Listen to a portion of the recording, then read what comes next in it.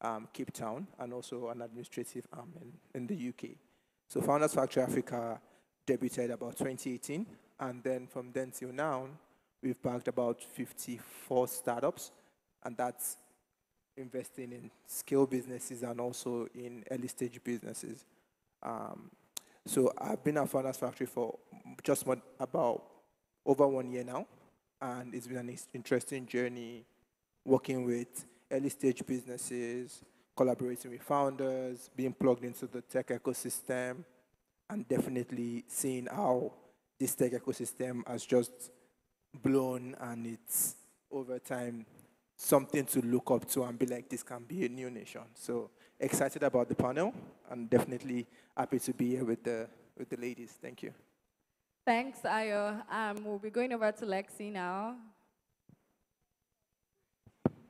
Hey, everybody. My name is Lexi Novitsky. Um, so, as you can probably tell, I didn't grow up in Nigeria.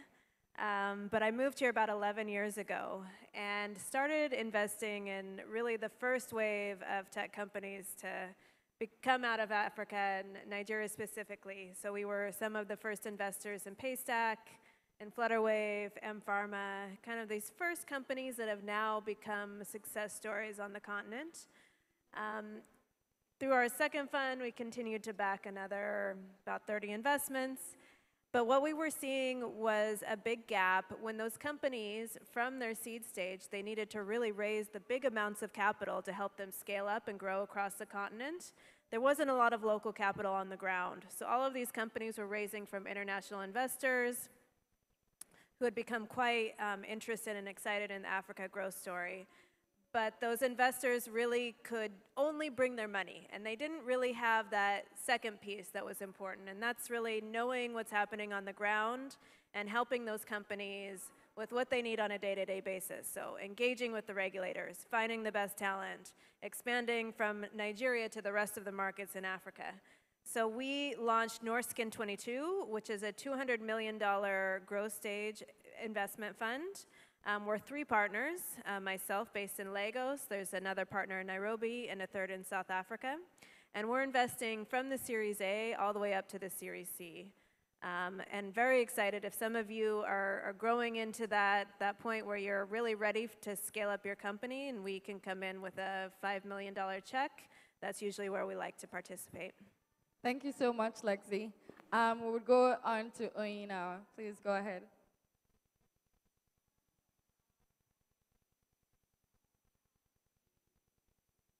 Oh, okay. Good afternoon. Um, I also didn't grow up here, as you can tell from my accent, but I am Nigerian. Um, I'm Oy, Oyinkansola um, Shalebo. I am the managing director of Techstars. And at Techstars, we help startups succeed. So we've been investing in startups for years. We've invested in over 3,000 startups with now a cumulative market cap of about $72 billion. Um, and we've been doing this globally. And last year, we finally launched in Africa, in Lagos. Thank you. that is something to be excited about, right? Sorry? I said that is something to be excited about. Absolutely, yes. Right. Yes, amidst everything else. So yeah, we've invested in 12 awesome startups, including Sidebrief. um, so our investment thesis is fintech, or fintech adjacent and prop tech. So essentially investing in pre-seed companies, so companies that haven't yet raised a significant round, ha have an idea, probably have some kind of market market, market validation, um, and join the program to really get capital, knowledge, and a network to help them grow. Thank you so much, Oyi. Um, now we'll go to Kelechi.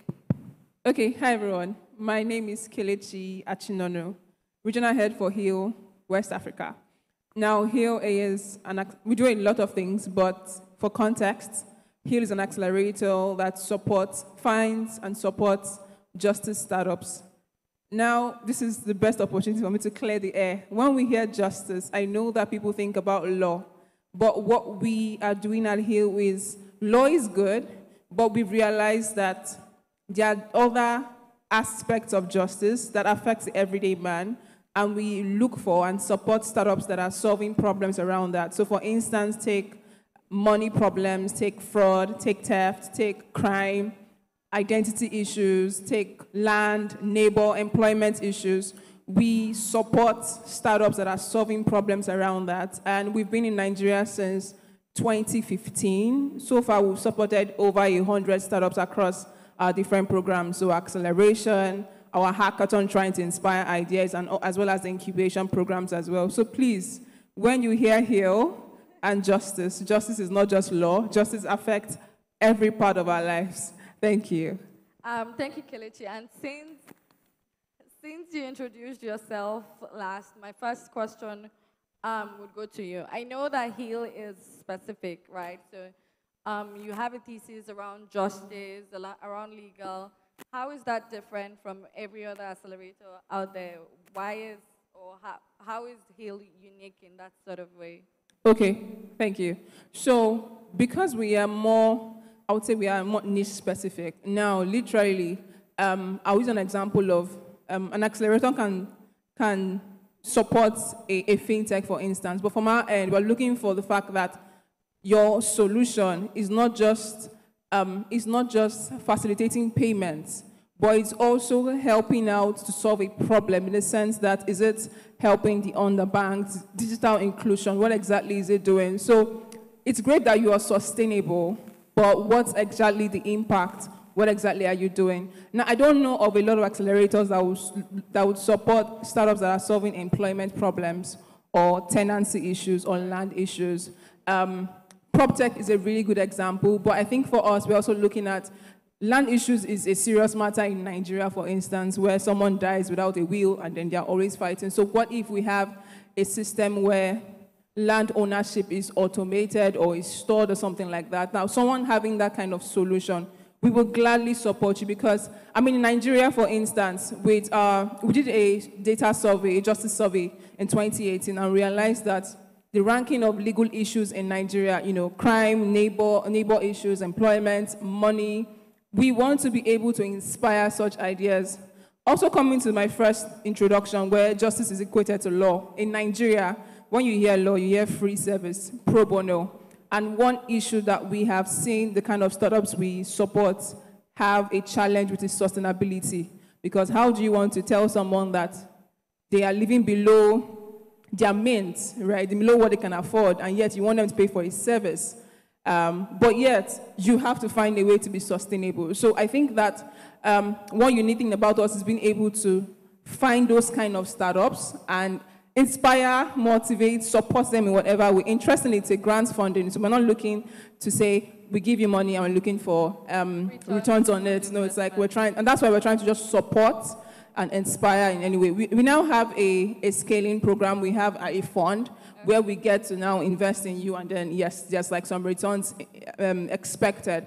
But for the accelerator, it's like, yeah, let's just support you in that sense. Absolutely. So would you say HiiL supports um, startups with social impact? Um, would, I, would you say that is the core rather yes. than like more I would say yes, social, but then I will use the word justice instead. Yes, okay. because that's like the keyword that we really focus on. And then that, if I say social, it feels like sometimes it sounds like we're looking for NGOs. Okay. That's something that we've actually really dealt with. But then it's just right. as long as you're solving a problem that is impact focused, right, and then you can be sustainable, then yes, will, I would like to talk to you. Absolutely. Thank you so much. Um, Oyin, could you tell us a bit more about Techstars, about the programming, about what you expect or what founders would expect from the Techstars program could you just share a bit of light on that? Yeah. Sure. So um, the Techstars Accelerator provides three main things, capital, program, and community. So on the capital side, we invest up to $120,000 in each startup um, via an equity investment upon your first significant fundraise and a convertible note. So we, we invest 120,000 to help you invest in your business.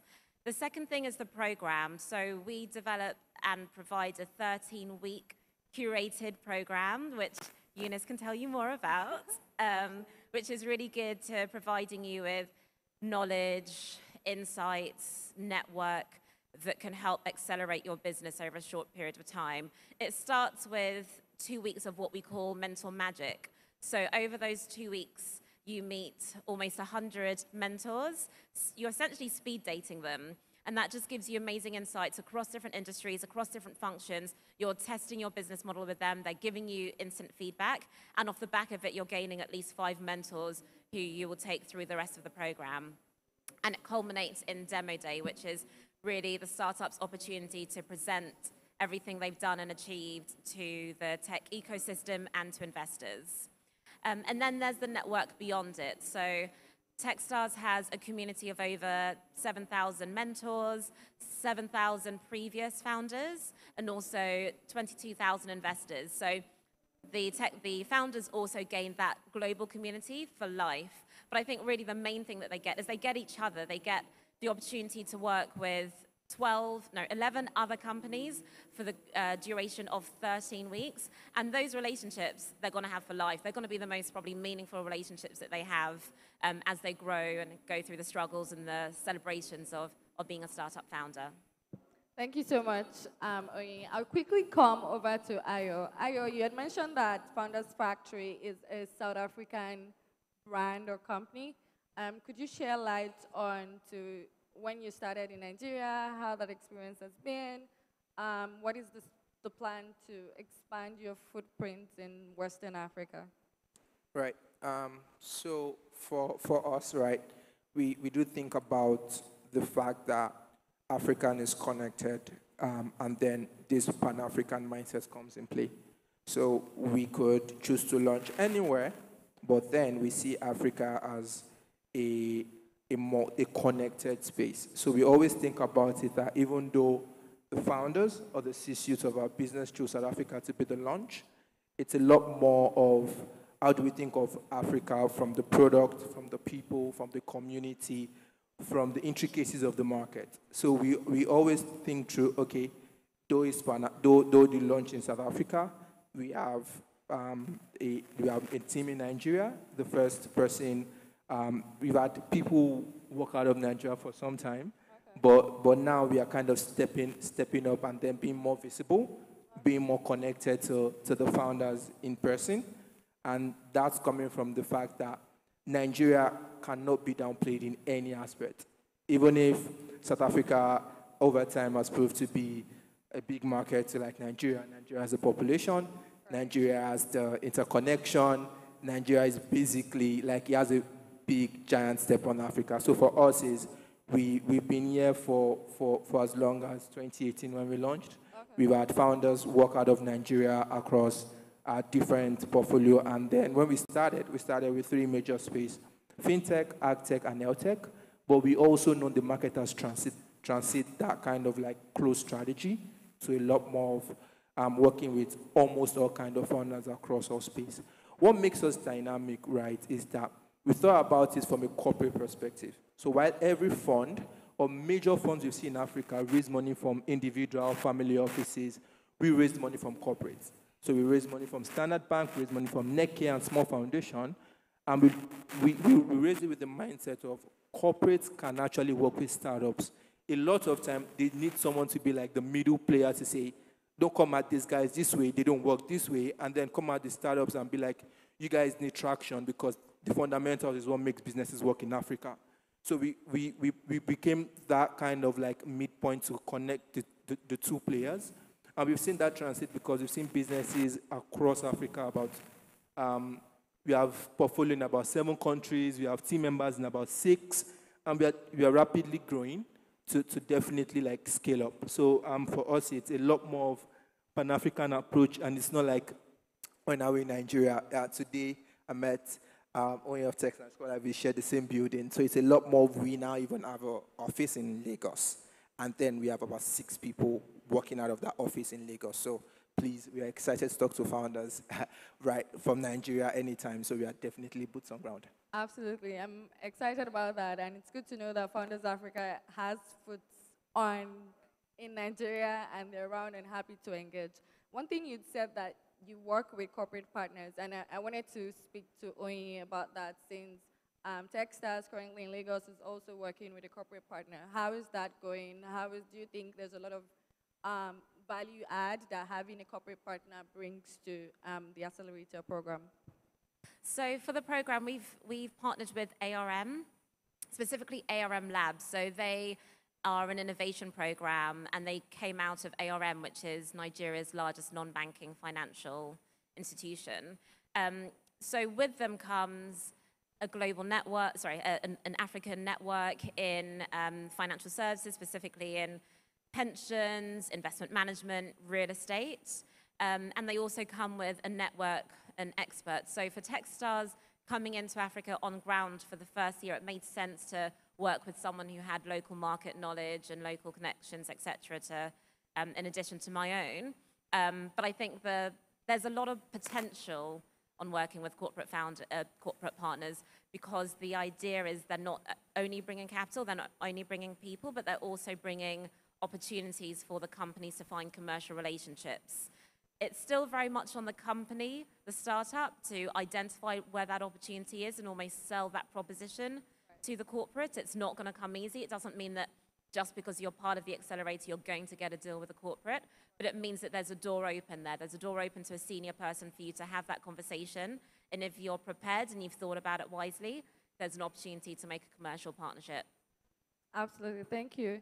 Um, Lexi, my next question goes to you. So um, I want to, you to share with the audience about accelerators in general, when you think about them. I know that, I mean, your fund typically invests in later stage um, startups, right? So what role would you think accelerators play um, in early stage startups, right? And also in your experience, would you say, I mean, they prepare um, startups for funding at a later stage, right? In your experience, would you say startups who have gone through accelerators are more prepared to receive funding probably at the later stage? What is your experience been like? Yeah, so I mean, the a, a fantastic operator, you can have the biggest problem in the world and be a fantastic operator and unlocking it. But if you don't know how to set up your governance systems and if you don't know how to communicate that to an investor and look for what they want to see and need to hear, then I think you're, you know, you still won't attract the money. You really need to scale that business up. So I think that that's the first thing that accelerators do that is in, in, incredibly important and, and necessary. Um, selfishly, I think what they also do for us is they act as a fantastic filter, right? Like, so they are able to choose, they see hundreds and hundreds of applications, they choose the, the best ones, they then leverage on their expertise to help those companies grow and really recognize the right product market fit for their company and then that almost comes as like our funnel. We, we know that those are companies that we want to watch. We, you know, we sit in on demo days, we look and we see which ones are, are quite interesting, even if we're not yet ready to invest, right? And, and I think that visibility is hugely important. I also think that um, maybe just for the panelists here, I mean, for so many years, the the key incubators to get into were, glo were global and they were based overseas, right? So a founder would have to take time away from their customer, take time away from the market where they were building a business, and do programs overseas. And for on one side, you know, that gives you some exposure to international capital, but I think having in, in incubators that are based here locally, where the founders can sit in a local office have mentors that understand the local problems to help them really attack them is also incredibly important for those companies. Right. Thank you so much. Oyin, my next question is to you. So you had mentioned that, I mean, fintech, prop tech companies, right? And I mean, there's a debate on the continent that there, there are already a lot of fintechs in, in, on the continent, right? Would you say Techstars also invest in um, companies that are not just fintechs or prop techs, right? So what would you say to founders who are not building in those niche areas? Um, well, I think Sidebrief is testimony to the fact that, right, that yeah. there is a little wiggle for, know, yeah. yeah. Um, so our original investment thesis okay. was fintech and prop tech, and right. that very much aligned with the expertise of ARM, given that they are a financial services company and they also offer real estate investments as one of their, one of their asset classes. Um, but yes, we have a, a legal or compliance or reg tech reg tech company. We've got a company that is um, health tech as well as fintech. Yeah. Uh, we've got a couple of companies that aren't necessarily fintech, they're more around data aggregation. Um, we've got one insurtech company. So there is, there is a little bit of wiggle. So I would say to a company that is wondering whether or not they should apply, give it a go. Um, but if you are turned down because it doesn't quite match, please understand. Right. Thank you so much. Ayo, my next question would go to you. So, like, when founders are applying to Founders Africa or accelerators in general, what are um, key things you would typically look out for in all of these founders who are pitching to your accelerator on a daily basis? Right. Um, thank you for the question. So just a little bit of clarification. It's Founders Factory Founders Africa. Right. So I mean, because we have got to be specific on the brand. Um, so for us, right, when we are looking um, at businesses, the first thing we are looking at um, is we are looking at first the founder. That's the th- that's like the person holding the vision of the business. And a lot of times when we look at founders, we look at founders from pedigree, we look at founders from the excitement and attraction to the problem. We look at founders from the point of their ability and also the temperament to work with more people across different classes, which is work with people on their wavelength, work with people below their wavelength, and work with people that are kind of just ahead and they are trying to bring them to their wavelength. And then why I say this is because at the early stage of businesses, the founders are the custodian of what the business would look like because they call the shots. But for us, what makes us dynamic is we run two models. We run what we call a build model, where Founders Factory writes ideations, and then we float it by our corporate partners who approve it and give us a budget, and then we hire entrepreneurs to go build that. So what that means is for the first few, for the first um, about six to eight months, the founders are paid comfortably. So it's a lot of like a, a little bit of taking it easy before they go face probably what we call the trenches here. Um, but, but what, what that gives us first is like it gives us an approach, and we also invest in scale businesses, which are founders over time have the product, have the traction, they really just want to topple, and they just want people to give them capital and let them move. But we know that there is a point where you need to work with these people to still refine and then smoothen some of these edges. So what we are looking for is great market, but first is the people, great people. I mean, we should be comfortable to work with the people. They should be able to take feedback, give us feedback. They should also be very flexible. And something we don't take for granted is compliance. People should know the big picture that is way more than they have in their ideas. If this businesses grows and explodes, it's going to have a life of its own. How you choose to nurture the business at the early stage just shows how dynamic this business can become. So those are the things we look out for. First, we, it, it, it, it starts with the person, then it rolls over to the business. And then uh, for us, the dynamic is we, we invest across some places that is being seen like a slow but picking up you know, sector. We do health tech, we do agri-tech. Uh, It's not, it's not the most comfortable, but it's somewhere we believe our thesis and also the experience of our team can help us work with founders to accelerate. And like I said, we have about 54 portfolio companies, which means we work with different kind of people, but we find a middle point for scale. Thank you so much, Ayo. So I hear Ayo when he says that um, the team is important. So the team or the set of founders who are solving these problems must be capable of solving these problems. I also hear you when you talk about market size and the opportunity must be big, right? So Kelechi, what are the other things that I mean you would typically look out for um, before deciding to equity invest in a in a founder? Okay, so I would say in addition to everything he said, um, and speaking from my own experience with what we do, how interesting we are, the kind of startups we look out for, I think one thing is that um, from the founder side is also the commitment, which is one challenge I've had, and I don't know if accelerators have had that as well, where there's always this excitement with applications, and then they come in, it's like the first two, three weeks, then afterwards, I'm now begging them to please come around. I think that's like, that has been a challenge. I think that's something that we look out for. So it's like, whenever we're having conversations, I really want to know that you actually are passionate about this problem and you would try your very best to explore all options to solve whatever problem you're trying to solve for your user, right? That's like, that's a key thing. And I think that also, aside commitment, I think is also the fact that thinking from our own perspective as an accelerator, I report to someone,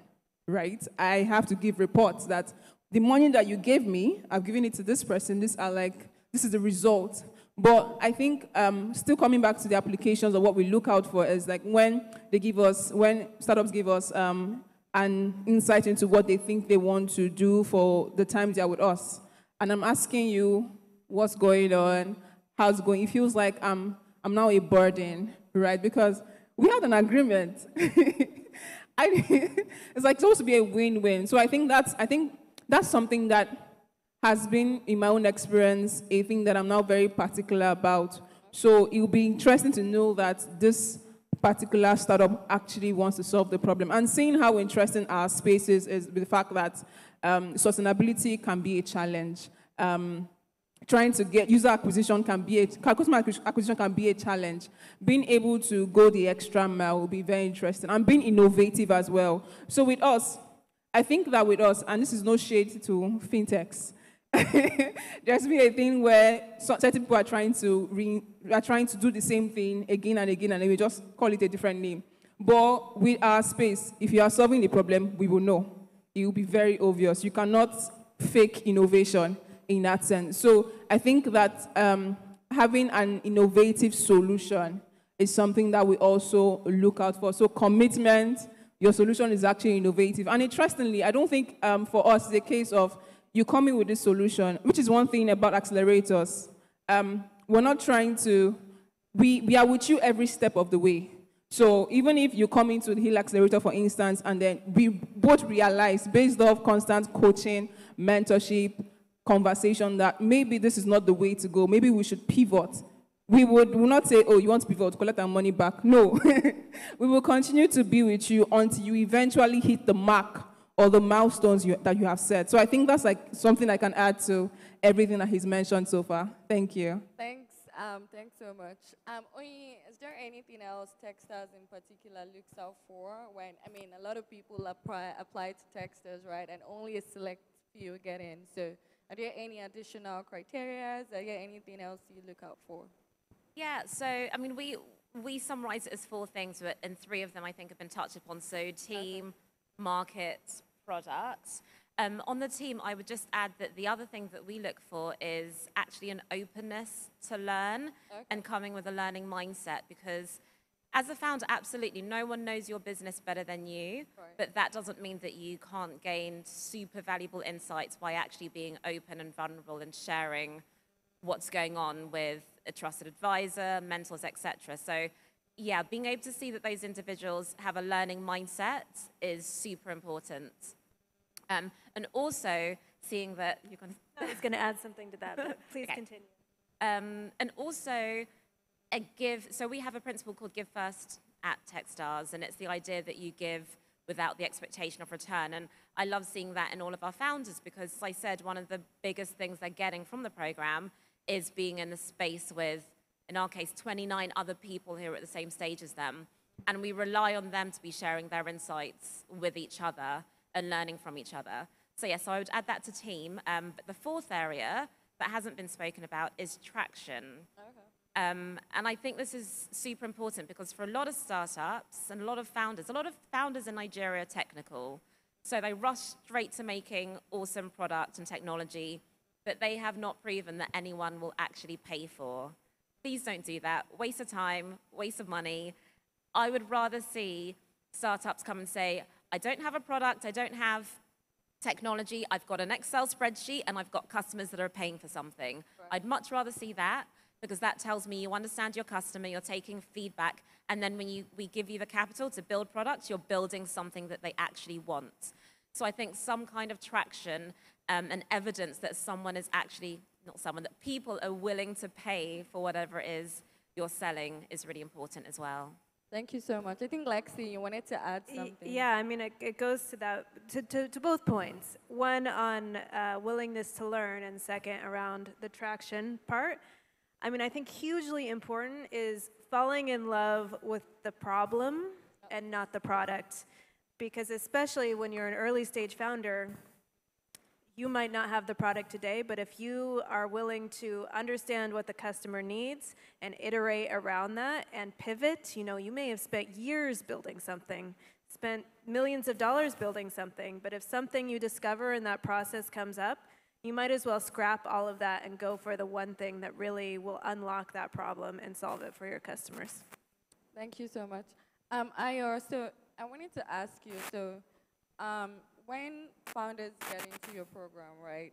How would you say you accelerate your their growth? What type of initiatives do you put in place? What type of programming um, do these founders have to go through, right? How do they get out of your program a better company or a better startup?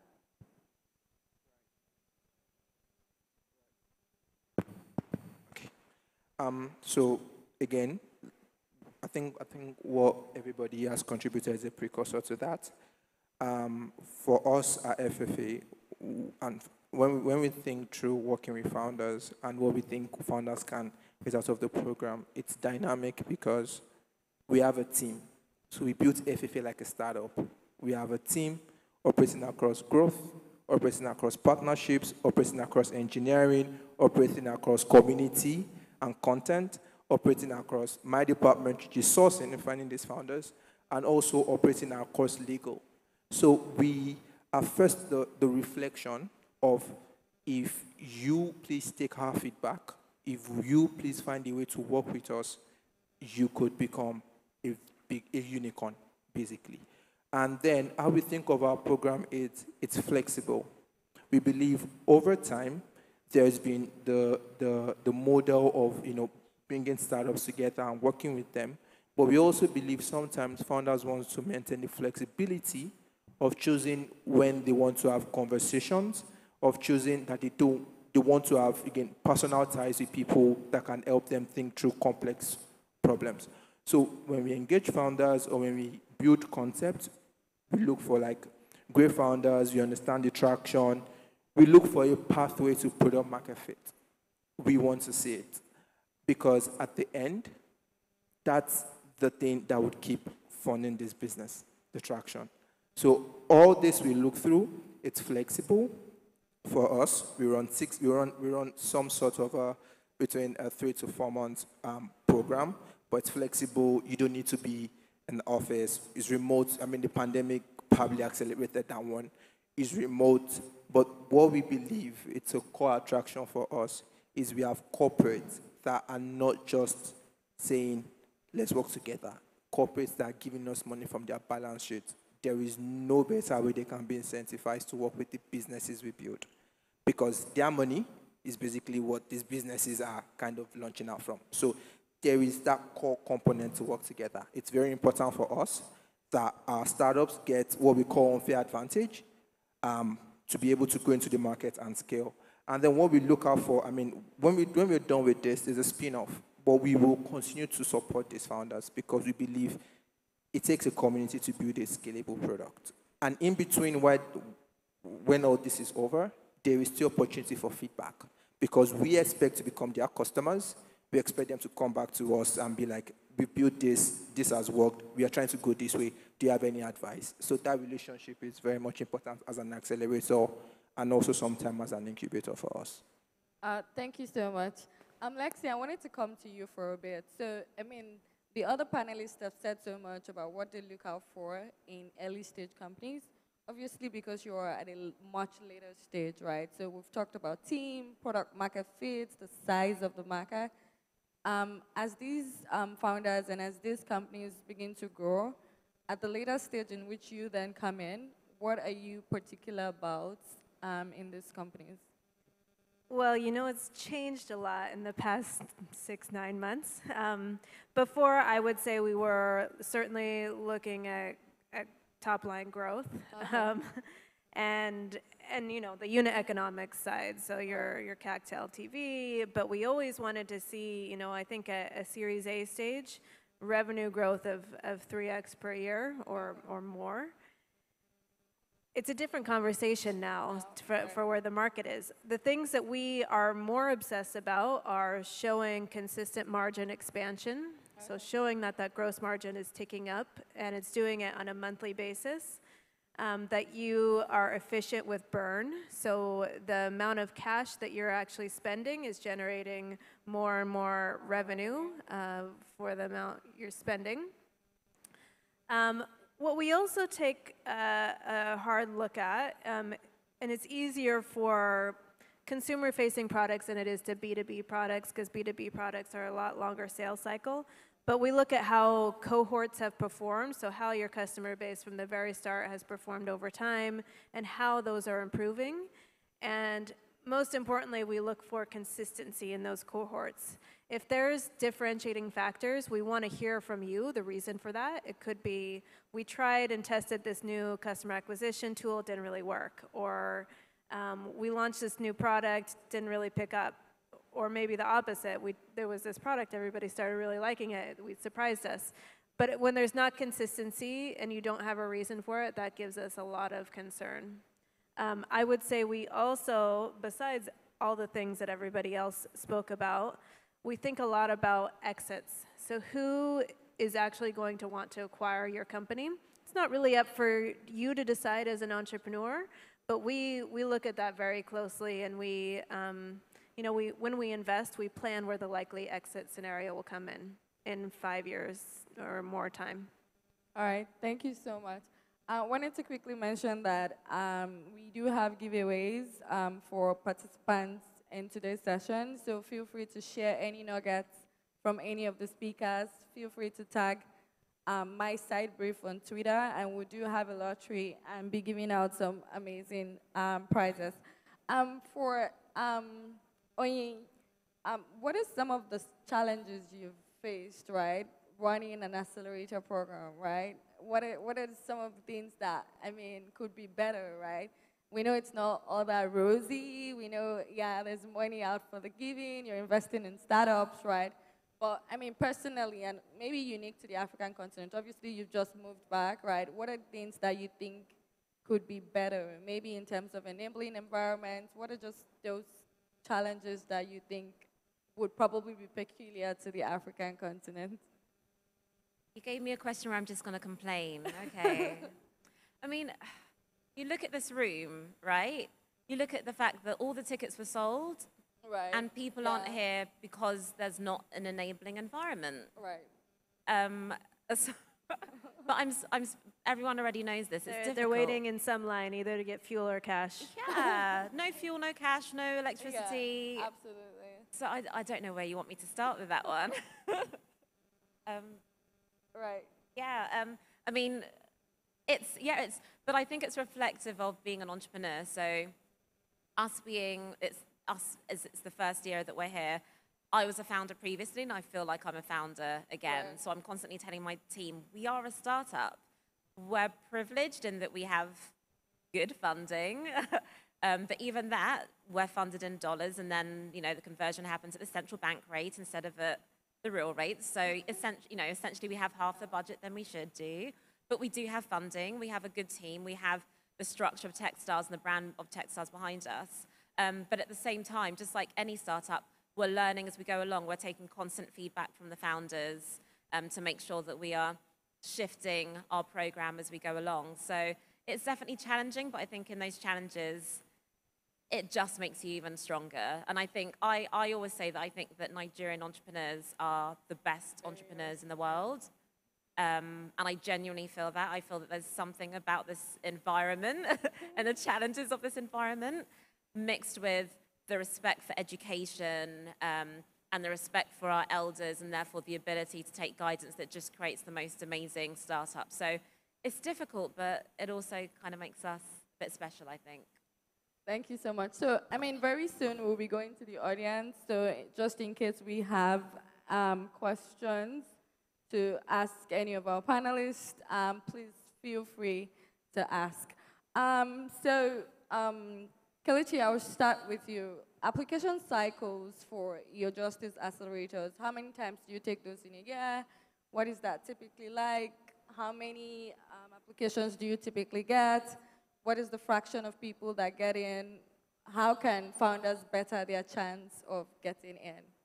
Okay, so um, interestingly, we are closing out the cycle next week. Uh, we are having our demo day in Nairobi. So um, for HiiL, on the accelerator level, we have, the accelerator is a global accelerator. So we have startups from West Africa, from East Africa, and from MENA, all um, participate in the accelerator. And at the end of it, so it started in, I think, June last year, and it's closing out on, Feb- on February 15th. So at the end of it, we launch a new call for application. So we expect that, I'm hoping and expecting that we have applications, you know, from startups that are looking to solve problems um, in crime, issues around crime, money, tenancy, land, neighbor issues, employment issues, um, gender-based violence as well, whatever the case may be. And um, that runs till March 31st. So we have um, looking at we look at the applications, have interviews. I think two inter- two stage interviews, and then um, have those that will get in. So I would say for me, typically, like last year, we got um, around 40 to 50 applications from Nigeria, and we had about five, yeah, get in. Um, but I think speaking to this one challenge I have, I really want to talk about my challenge is the fact that I don't know how startups, I think there is an upsell of what accelerators do. There is an upsell, there's a value add. But it's also interesting how we would have people start applications and it, feel, it looks interesting, but they will not finish the applications. so it's just like, I wish you did, and I can't come to you and say, oh, come and finish. Even if I, I follow up and remind, there is just so little I can do. I cannot compel a startup to, you know, join us. So just coming back to the question, we have that number coming, and then we run through a six months um, accelerator program, and at the end of it, there is also a demo day. So interestingly, uh, we do a grant funding of 10,000 euros. So for every startup that comes into our program globally, they receive 10,000 euros. Now, during our demo day, um, where people, where the startups get to pitch to a global audience, we also have funding for the first three. So we have 20K, 10K, and 5K euros that are given to the first, I don't know if I should word first, second, and third startups, you know, that win the, the, the pitch. So that's like how typically the program happens once a year. We also have other programs, the incubation and the ideation program that happens once a year as well. Yeah. Okay. Thank you so much. Um, we know Techstars is really competitive. You receive hundreds of applications across different countries.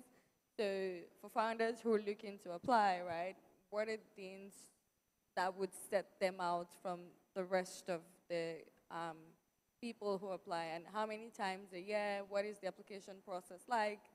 Um, yeah. Sure. Um, so applications for our 2023 program will open in April. Um, we'll be screening and interviewing, and the program will start in November. Um, I've said the four main things we look for, team, market, product, and traction, and by far the, the, the most important one is team. I mean, we had a couple of companies where we weren't super excited by the product, but the teams made it worth investing in. So really focus on team. And I would say, kind of aligned to you know the fact that people don't finish applications. My my top tip is if you're applying is just make think of everything you can do to make it difficult for someone to say no. Just how do you make their life as easy as possible? That means for your deck, follow the standard format. Google how to do a pitch deck, and I'll tell you, you'll find so many links that say 10 pages, focus, start with your problem, go to your solution, go to market sizing. It will tell you the framework to use. Follow the framework. Don't go off script. Just make it super easy because if I'm going through, I mean, if a member of the team is going through 100 pitch decks, they're doing this next. So just make it really easy. Use your social media.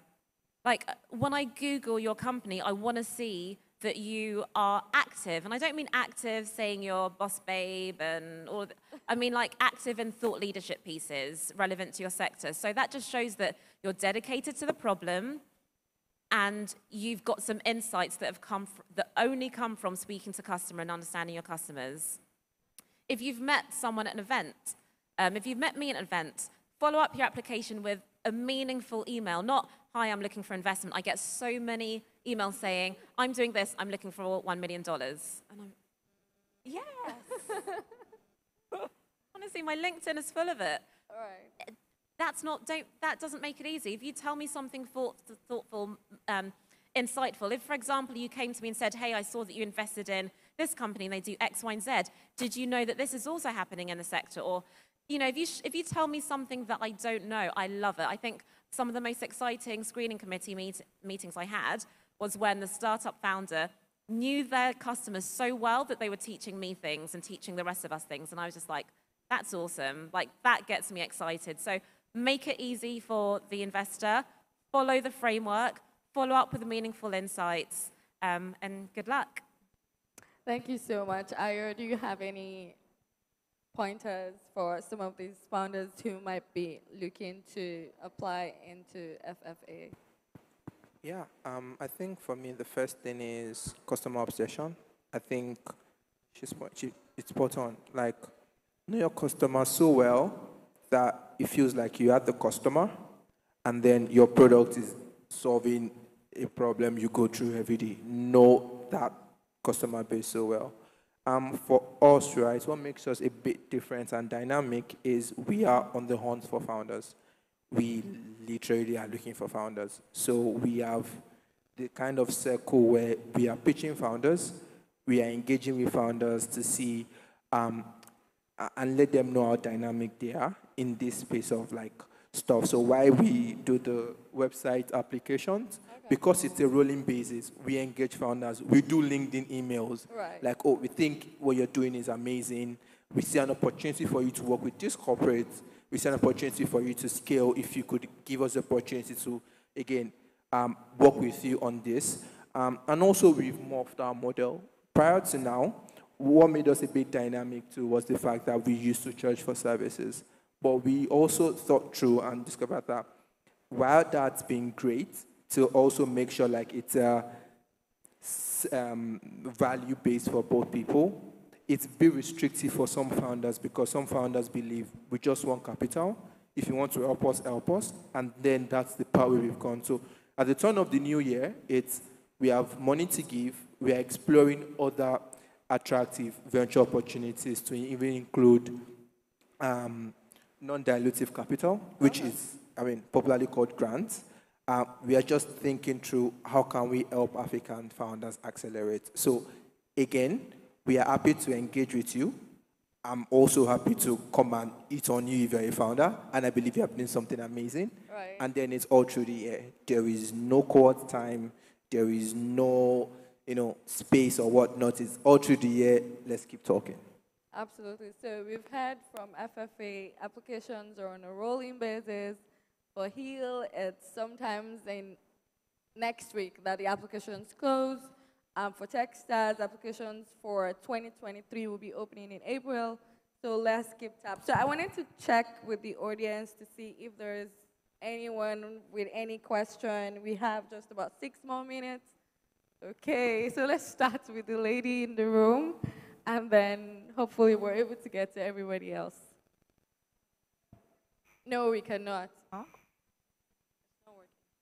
Still working? Okay. Um, hi, thank you all for everything that you shared. Um, it's very interesting to hear this different dynamics to the accelerator programs that you all run.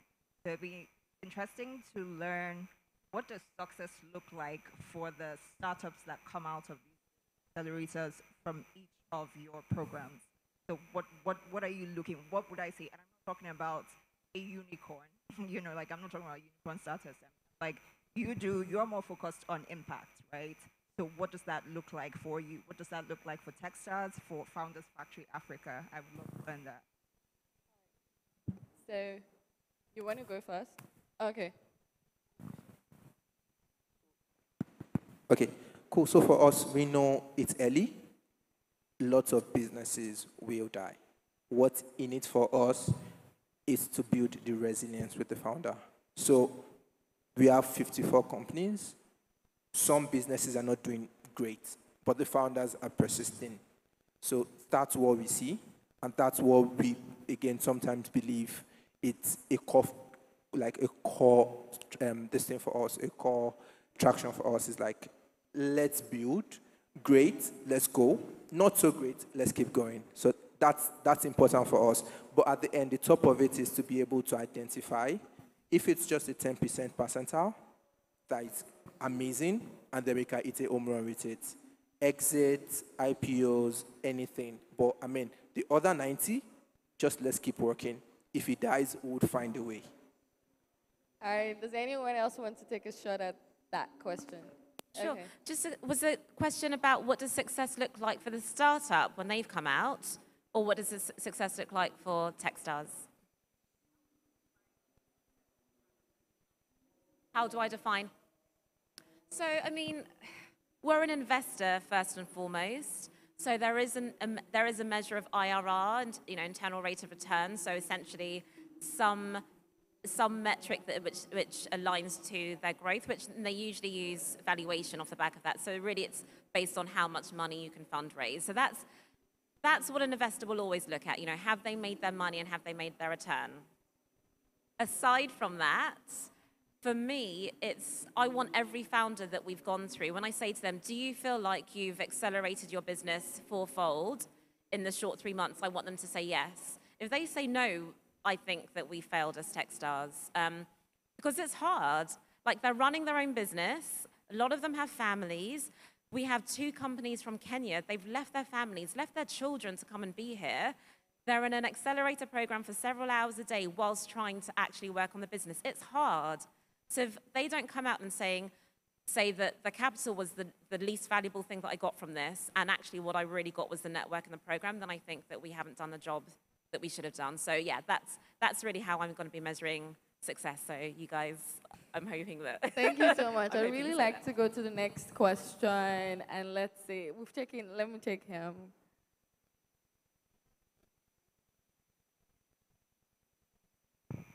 Hi. So basically, my question is for startups that don't have revenue, what would be the thing that would be like really exciting for you to make you feel like, oh, this guy is on something? Especially like if it's like, um, you know, like something deep tech that's in stealth, you don't want to like hit the market really quickly. So what would you see that would be like, oh, you don't have revenue, but yeah, I would still take you guys. Okay, so I mean, I think the panelists have mentioned a couple of things, like the team, the size of the market. Those are interesting. Um, even without traction, um, what yeah, there, think? there's other traction metrics you can show besides revenue. You can show how active users are, even if they're free users. Um, you can show retention of those customers. You could show certain demographics about those customers that show that they would be willing to pay for a product when you turn that on. All right.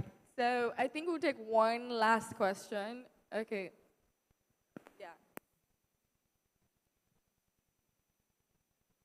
Hi, full panel. Uh, yeah, so I have this question for, right? So, um, we're an accelerator. So, if you are looking at two businesses, the first one, the first one is profitable, right? You can see their Excel sheets and everything. Second one, um, they're not profitable, yeah, but you can see that there is potential to grow have a high valuation. For example, like check now, Uber is still not profitable. So if your accelerator, you have the chance to be able to like model, like or model into the future, determine that company A is going to be like Uber, right? It may not make profit, but a lot of billions in have a company B that they are making profit, they're going to grow, maybe not as much as Uber, yeah, but they're going to make profit. You have to you can only pick one. What would you pick and why? Okay. and, have you, so and have you ever had a profitable company? I did not ask about profits to any of the startups that we screened. okay. I Hope that answers your question. Didn't ask. I don't know what that. No, I, I do now, but at the time I didn't make the decision based on any po- profit metric, nor did I know the answer to that question. It's not. It, it- it's for we're pre-seed, So some of them will be profitable, sure. Some of them will be making revenue, sure. Some of them won't be making revenue at all, and that's absolutely fine. It's all about the trajectory. Are they able to demonstrate that they're doing this, and that with our help they can do that? Um, so yeah, profit doesn't really come into the decision. All right, I know we do have other questions, but I would say, I mean, feel free to engage with the panelists. Feel free to network with them. Our time is up. Thanks so much for, I mean, coming out for sticking through to the end. To our online audience, also thanks, thanks so much for being with us, and we really appreciate it. So again, I'll just give a brief Sidebrief. We provide a simple platform for entrepreneurs to launch, to manage, and scale their business across markets. So from business registration to banking and to regulatory compliance, we provide a one-stop solution for founders across the continent. So feel free to check us out at sidebrief.com. Thank you so much, guys, again for coming. In. Thanks for sticking around. And thanks to my amazing panelists. Thanks, Lexi. I know I cold DM'd you on LinkedIn. Thanks, Ayo. I also did the same. I know Oyin and Kelechi more personally. Thank you, guys, for um, coming through. Thanks, Thanks so much. Thanks for having us. Thanks, everyone.